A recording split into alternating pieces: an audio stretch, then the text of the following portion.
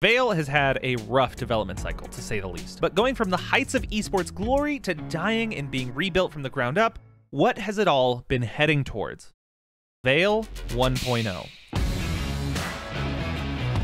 Right now, the game is in open beta in App Lab on Quest and in early access on Steam. But details have just been released on what the launch version of Vail is going to look like. And if you want to get in early, keep watching for information on how to get the game at a discount before it increases in price at launch. Vail is having its official release in early 2024. They say they want you to come break the game, so they're offering it for 20% off in the Quest store until January 4th with this code, and it's a whopping 90% off on Steam as well. So if you have a VR capable PC, go get that for you and all your new VR esports sweat teammates. So when Vail launches officially, it's going to launch with new guns, new maps, new game modes, a progression system, which looks like this, matchmaking, stat tracking, and leaderboards. That's a lot, and when it has all these features, they're going to charge more for the game, so get it while it's cheap. But in my opinion, this really is the best time to start playing the game. There's a few servers full almost any time of day if you're in the US or Canada, so you can get good before all the noobs rush in at launch, and maybe you'll be able to compete in the upcoming competitive season, which brings me to the most exciting point. Vail is joining the VR Master League, the biggest and, in my opinion, best VR esports league. The preseason starts January 15th, with the full season coming a month later, and it's sponsored by XLab with the prize pool starting at $10,000. And that's going to increase as more sponsors come in. So start practicing, get some teammates, and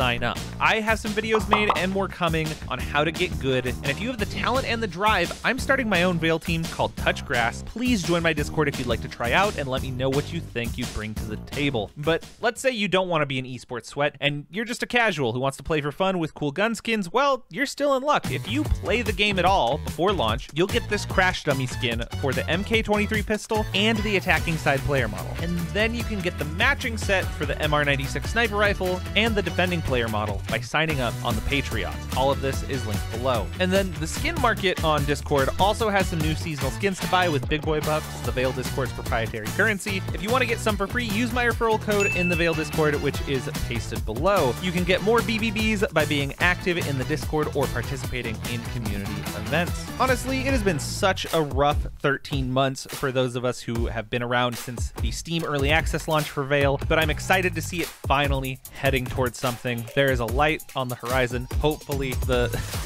let's hope the 1.0 launch is actually stable. XLab, please. I know you got that testing branch up. Let's use it. I appreciate you guys.